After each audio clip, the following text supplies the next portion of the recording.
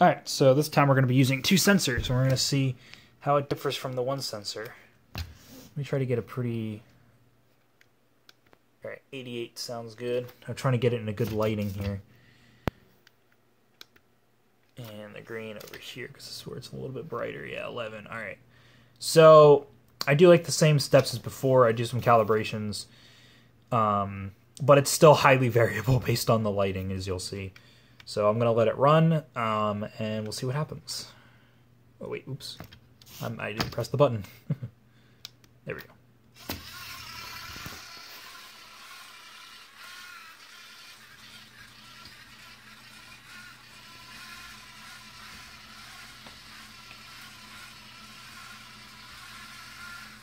As you can see, it goes, it goes, it does go straight on the green, which is cool.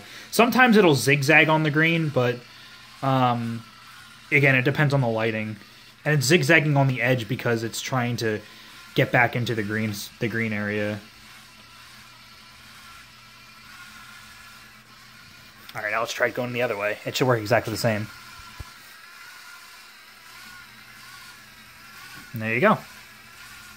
Works exactly the same going the opposite direction too. So both directions can now work. Um, it can now go a lot. It can now go straighter and go a little bit faster.